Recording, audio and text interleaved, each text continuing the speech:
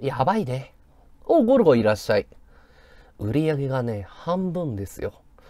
何が原因なんだろうな。みんながさ、なんか思い当たる原因ある？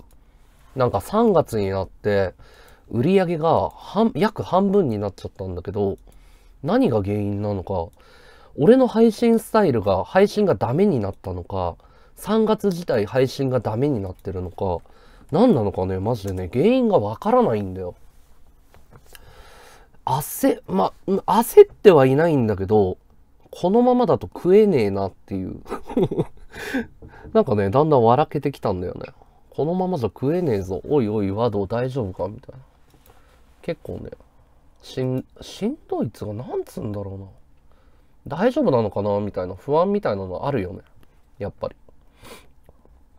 どうなってくんだろう。これから。本日3回目のワード2。つみきちゃんありがとう。バカ10個ありがとう。パーパーさんワード2。いらっしゃい。あれパーパーさん初見さんじゃないのかな？初めて見る小手半だけど、初コメですか？ありがとう。うん、まあ、まったりやります。ラジオ配信ですね。ちょっと、息抜き配信です。ねえ人生が変わるさ、大変な時期ですから、私。旅、旅に、旅人にならないといけないんで、結構ね、いろんなプレッシャーと戦ってるんですよ。こう見えて。意外とね、メンタル太いと思われてるけど、そんなに太いわけじゃないから。意外と繊細なんだよ。意外と。おい、めくらちゃんいらっしゃい。めくらちゃんも最近のリスナーだよね。比較的。最近のリスナーさんっていうイメージだよ。俺は。何きっかけで来てくれたんだっけ？めくらちゃんは。おい、わたつ、ゴンタいらっしゃい。楽しんでて。風呂入ろうかな。どうしようかな。銭湯行こうかな。体温めてストレッチして体ほぐそうかしら。どうしようかしら。悩んじおりますよ。うん、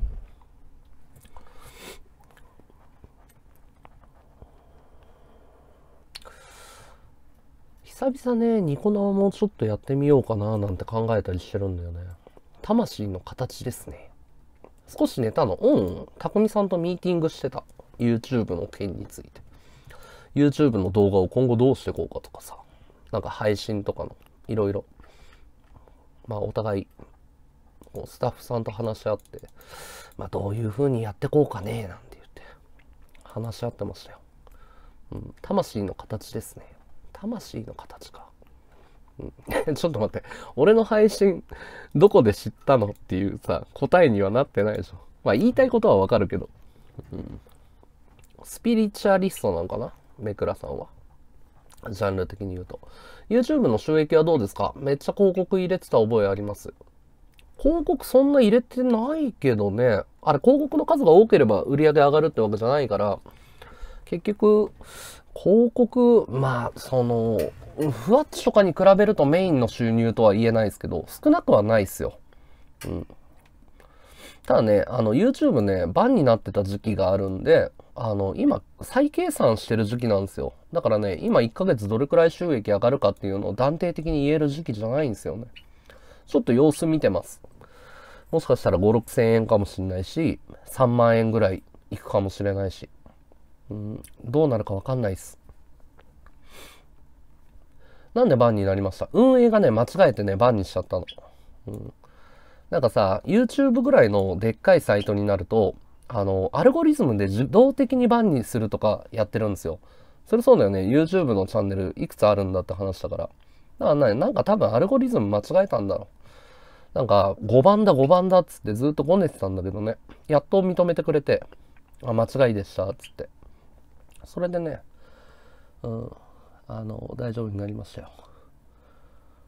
うん、YouTube 何回もバンされてビビりまくり。あ、めくらさん何 ?YouTuber なんだ。なんでバンされてんの？なんか変なことやってんの？うん。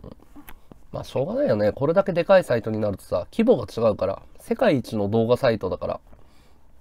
なんかさ、人が一人一人一個一個見て管理できるっていうレベルを超えてるわけじゃん。7年前に作ったアカウントは残ってた。何なんだろうね。アカウント作りすぎなのが原因っていうのもあるらしいよ。気をつけた方がいいよ。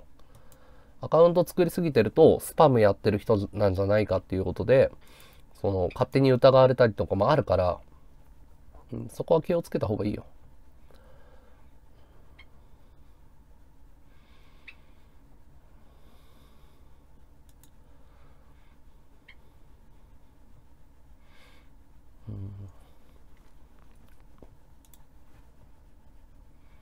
今日寒いね。なんだろう、今日の寒さ。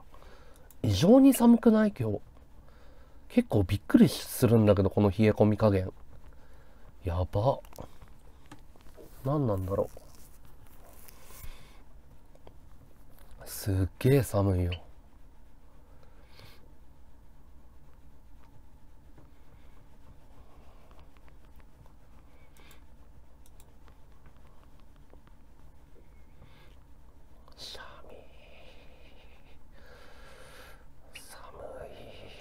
なんだろう今日冷え込むな暖房つけてんのになんでこんな寒いんだ？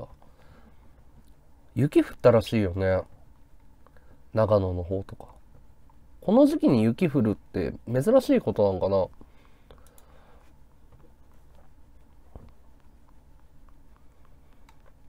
ちょっと神様神様とかさ宗教的な話をしていい宗教的な話とかみんな興味あるの？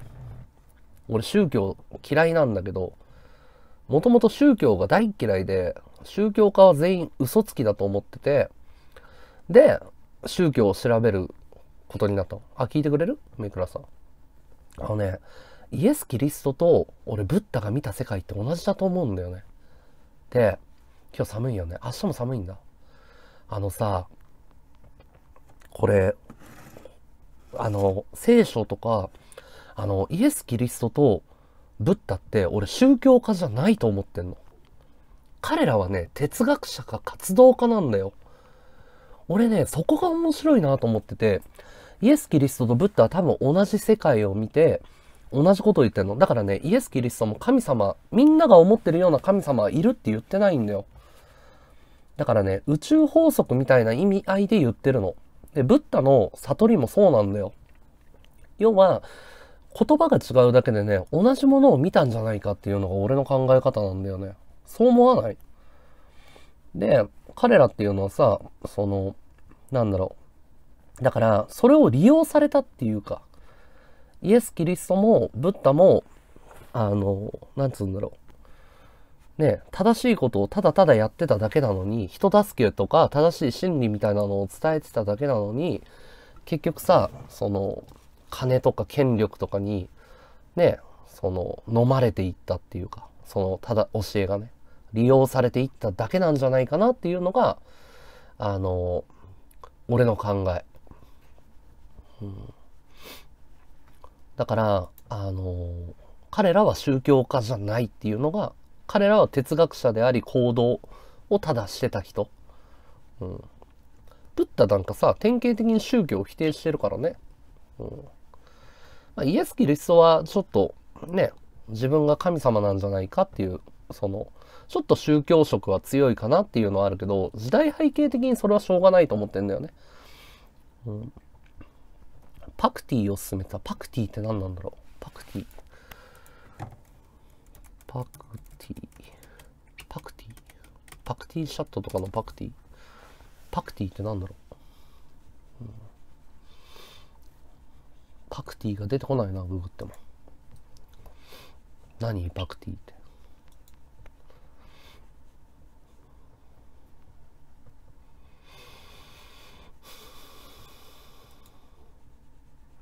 パクティがググっても、パクティヨガ。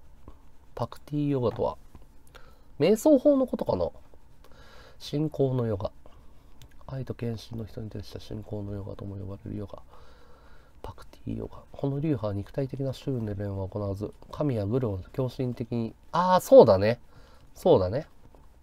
うん。まあそういうことだよね。うん、だから俺、神様はいるっていうのは嘘だと思ってるよ。神はいるんじゃなくてあるんだよ。現象としては俺絶対神ってあると思ってんの。うん、神はいないよ。人じゃないから。から宇宙法則そのものだよね。神は。そうするとね、キリスト教と仏教が融合するんだよ。俺の中で。で、自分の体験から来るその神秘体験とかが全部腑に落ちるの。だから、その、俺は宗教嫌いだから宗教をやるつもりはないけど、神はあるよ。うん、神はいない。それが俺の考え方かな。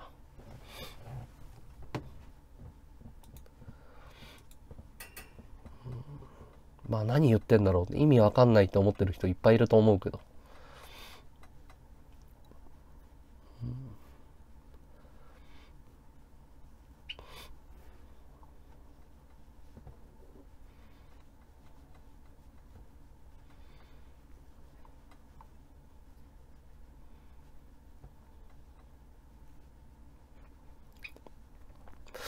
寒いな、風呂入ってこよう。これ風邪ひくわ。風邪ひく。うん。じゃあ皆さんお疲れ様です。お風呂行ってきます。ありがとうございました。おつです。お前コメント欄荒らすなよ。バカとかハゲとか書くなよ。なんでお前動画の内容も見ねえでお前バッドボタン押してんだよもう。